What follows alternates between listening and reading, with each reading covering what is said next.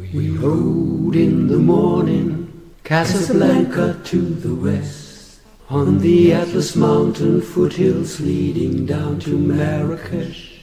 We had taken up our guns for the ashes of our fathers and the children of our sons. For the ashes of our fathers and the children of our sons. In the dry winds of summer, we were sharpening the blades. We were riding to act upon the promise we had made. With the fist and the dagger, with the rifle and the lance. Though they were waiting, and they were fifty to our ten. They were easily outnumbered by a smaller force of men.